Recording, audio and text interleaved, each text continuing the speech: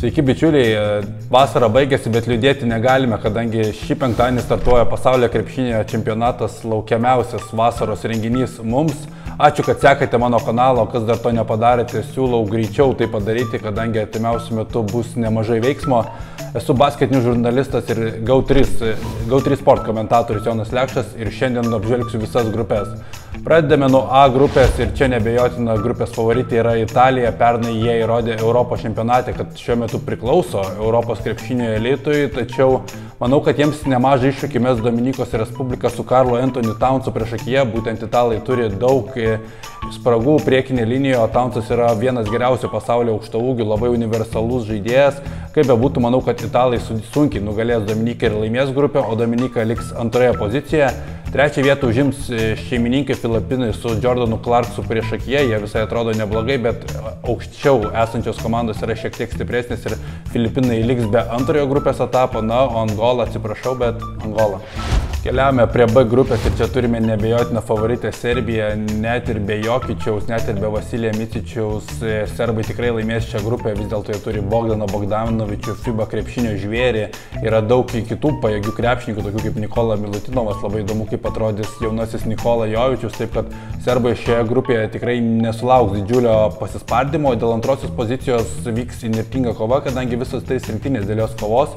Mano nuomonė, kad e, antrąją vietą iškovos Pietų Sudanas. Ši Afrikos rinktinė atsiveža vieną NBA krepšininką Venijaną Gabrielį, taip pat yra Merielas Šėjokas, kuris yra pasižymėjęs jau Europos krepšinį ir yra ganėtinai fiziškai stipri komanda ir manau, kad gali būti per kietas rieštas Puerto Riko ir Kinijos rinktinėms. E, manau, kad trečią poziciją užims būtent Puerto Rikas, kurį matėme žaidžiantį prieš Lietuvos komandą. Tai yra ganėtinai normali komanda, kažko penelik neįsiskirianti, bet ir nebus tikrai patrankų mėsa ir manau, to užteks jiems nugalėti kinus. E, jeigu būtų Jose Alvarado Puerto Riko rinktinėje, manau, kad jie galėtų kovoti ir dėl patekimo į antrąją etapą. Na, o ketvirtoje pozicijoje liks Saša Džordževičiaus treniruojami kinai. Ten tiesiog talento trūksta. C grupė ir, na, jeigu čia bus kitaip ir nelaimės šios grupės Amerika, o antroje vietoje neliks Graikija, tada galėsime ieškoti tų siaubūnų, kas pavogė amerikiečių ir graikų sielas ir atėmė iš jų įgūdžius. Čia šioje grupėje turėtų būti viskas aišku. Amerikiečiai yra ryškiausiai talentinga komanda, graikai neturi Janinto Dokumpo, neturi Kostos Lupo, neturi Niko Kalatėso ir jie negalės mesti, manau, rimtesnį iššūkio amerikiečiams, bet tikrai užims antrąją vietą, kadangi Toliau sekančios komandos tikrai nėra to kalibro. Ekipos trečiąją poziciją užims legendinio Pero Cameron, treniruojama Naujoji Zelandija, na, o ketvirtoje pozicijoje liks Jordanija, kurią matėme Lietuvoje ir kurie apskritai atrodo toli nuo pasaulio čempionato rinktinės lygio. Manau, kad jie gali gauti skaudžių pamokų, ypatingai iš amerikiečių. D grupė ir čia irgi daugiau ar mažiau turėtų viskas būti aišku, kas užims pirmąją bei antrąją vietas. Kertinė dvikova turėtų būti paskutinė tarp Jotkalnijos ir Lietuvos. Čia bus kovojama dėl pirmosios pozicijos ir visgi net ir tokios sudėties Lietuvija yra talentingesnė komandų už Jotkalniečius ir manau, kad e, turėtų vis tiek iškovoti čia tašką Lietuvijai, pabaigti pirmąją grupę be pralaimėjimų ir užimti pirmąją vietą. Antri liks Jotkalnijos krepšininkai, kurie turi pakankamai talento, kad e, pakutenti nervus nervus e, lietuviams, pakutenti nervus galbūt kitoje grupėje ir graikams.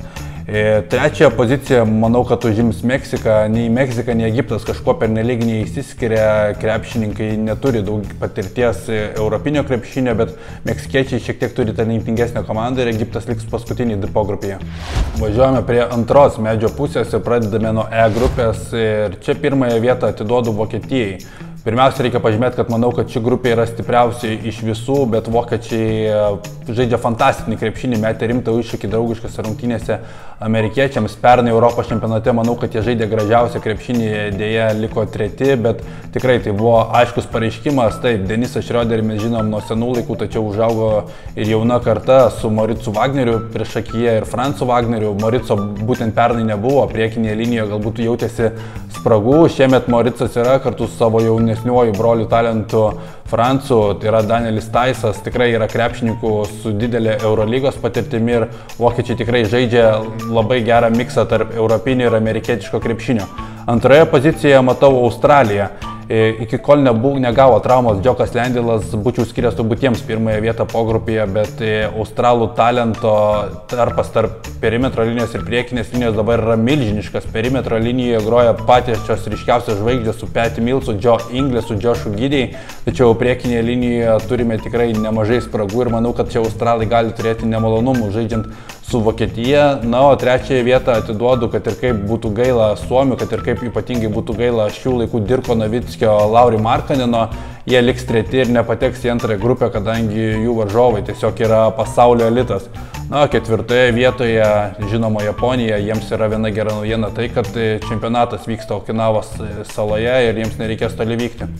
F grupė ir čia matome vieną ryškų vardą, sakyčiau, net ne rinktinę, o vardą, būtent Luka Dončičių, kadangi Slovenijos rinktinė pasirašyme tikrai neįtikino, bet jie vis tiek turi laimėti šią grupę, nematau ryškių konkurentų, kurie galėtų sutrukdyti slovenams laimėti viską. Taip, yra Sakartvelas, kuris surinko geriausią savo įmanomą komandą, ten yra tikrai labai ryškus priekinės linijos žaidėjai, kaip tokie kaip Šengelija, Bitadze, Šermadinis. Ir jie pridarys nemalonumų Slovenijos rinktinį, tačiau lygiai panaši situacija kaip e, Australijoje, tačiau čia kalbame apie kito lygio žaidėjus ir Sakartvelį yra dar prastesnė situacija su perimetro linijos krepšininkais. E, taip, yra Makfadenas, e, tačiau jisai yra ne kuriejas, o taškų rinkėjas ir vėl matysime, kaip praėjusiam Europos čempionate bus labai sunku perimetro linijos Sakartvelo krepšininkams įvesti kamuolius savo lyderiams ir susidursime su rezultatyvių perdavimų ir klaidų neigiamų balansų metų. E, galvoju, kad antris Sakartvelas tik šioje, pogrup, šioje grupėje reis toliau, o trečią vietą užims Žalesis Kišulys, e, čempionate debintuojanti rinktinė, mažiausia valstybė čempionatų istorijoje su didžiausiu krepšininku šiame čempionate Valteriu Tavaresu. Bus įdomu stebėti, kaip Tavaresui seksis e, tarp gerokai mažiau talentingų žaidėjų išnaudoti savo pranašumus. Vien dėl to bus galima ir palaikyti šią komandą už tai, kad e, jie atsisakė planų ir naturalizuoti krepšininkus, o remiasi būtent tik tai savuoju dvyliktuku. Na, ketvirtąją poziciją atiduodu Venezuelai, kurie viešėjo ir Prancūzijoje, draugiškame turnyre. Mačiau, kaip jų atvyko su šeimomis ir jiems tikrai yra šventė tiesiog keliauti ir palikti savo žemyną, taip kad manau, kad Venezuela per nelik didelių lūkesčių į čempionatą nededa, o tiesiog nori praleisti gerai laiką. Keliaujame į G grupę ir čia matome pasaulio ir Europos čempioną Ispaną. Vis dėlto, žiūrint ant popieriaus, e, iškritus Rikį Rubijo, nesant Lorenzo Braunui, Ispanija netrodo kaip ta čempioniška rinktinė, bet e, žvelgiant jų pasiruošimą, man jis tikrai patiko.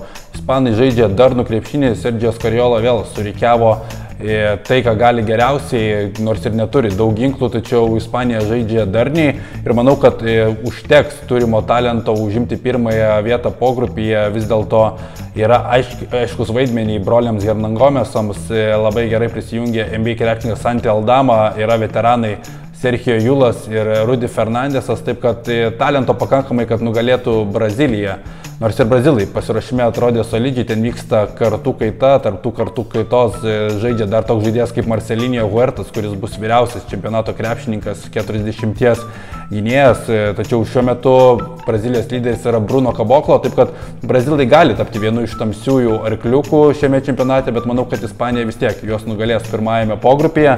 Na, trečia ir ketvirta vieta formalumas. Manau, kad trečiąją poziciją užims Iranas, kuris save vadina Azijos Serbija su Hamedu Hadadi prieš akiją. Pažiūrėsime, kaip jiems seksis čempionate, kaip Hamedas Hadadi, Lietuvos Arvidas Sabonis atrodys pirmenybėse. Tikrai šį krepšininką sekūno labai senai ir Iranas neįsivaizduojamas man yra nuo Hamedo Hadadi, bet talento ten trūksta, kad pakovoti rimčiau dėl patekimo į kitą etapą, nuo Dramblio kalo krantas liks paskutinis.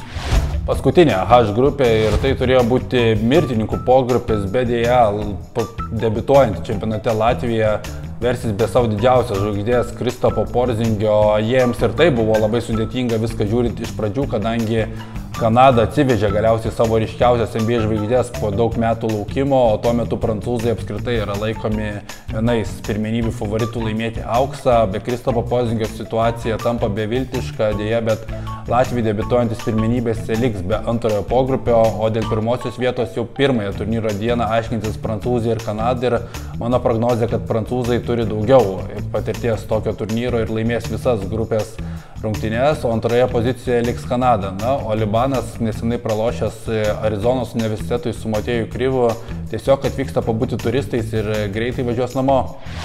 Na ką, grupės sudėliotos, čempionatas jau prasideda penktadienį, na ir po pirmojo etapo susitiksime vėl, pažiūrėsime, kiek nesąmonių pasakiau, kiek teisingai dalykų atspėjau ir sekite toliau mano kanalą ir bus naujienų nemažai. Iki.